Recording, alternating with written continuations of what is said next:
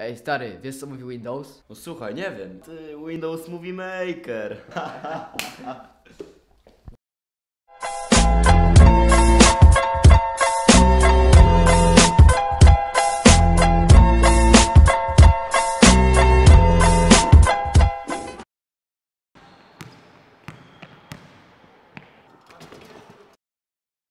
Janek Domino.